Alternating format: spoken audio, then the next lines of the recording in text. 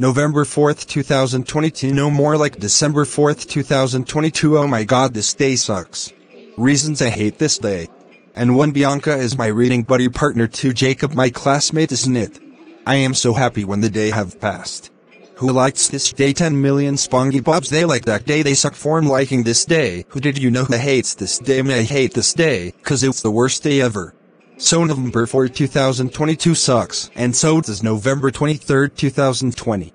December 4, 2022 it's 100 million better than November 4, 2022. End of rant.